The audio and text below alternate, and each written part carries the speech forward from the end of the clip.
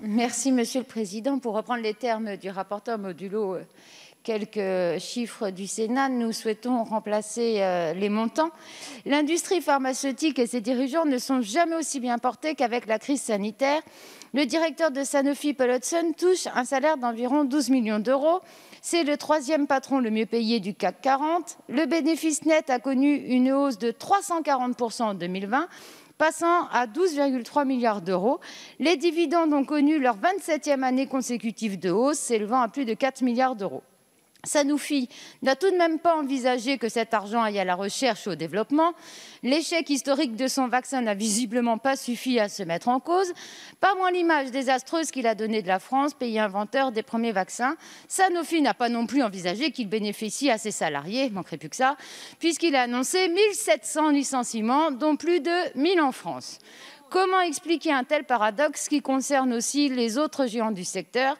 Il semblerait que les industriels du médicament se transforment en financiers et que le regard de leurs dirigeants soit exclusivement tourné vers la rémunération du capital plutôt que vers la recherche et le travail.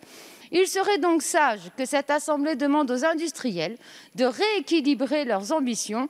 Ce n'est pas à nos systèmes de santé de restaurer leurs marges et leur budget de recherche et développement, mais bien à leurs actionnaires de modérer leurs appétits. Aussi, nous souhaitons mettre fin à la croissance régulière de la dépense du médicament profit des industriels. Il est grand temps de faire preuve de plus de fermeté à leur égard. La clause de sauvegarde prévue à cet article est un dispositif qui nous le permet. Il a pour mission de contenir l'évolution du chiffre d'affaires brut réalisé en France au titre du médicament remboursé par l'assurance maladie.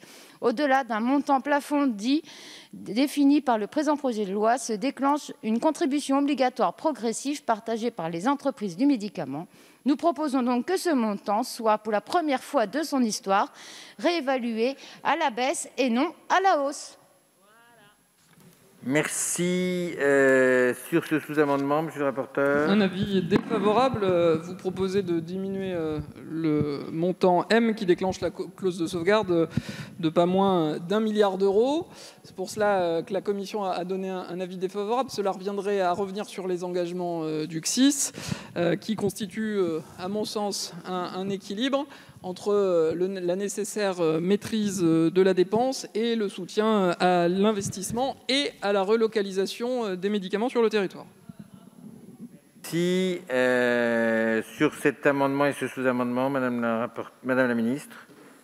Favorable au 141, défavorable 360. Merci. Je mets tout d'abord au voile 300. Madame Fiat.